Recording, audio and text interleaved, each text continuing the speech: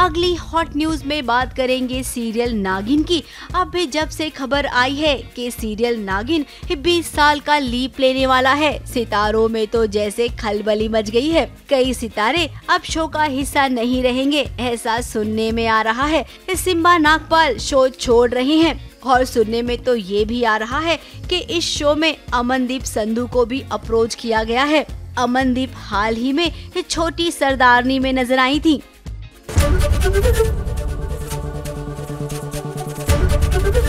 ABP news आपको रखे आगे।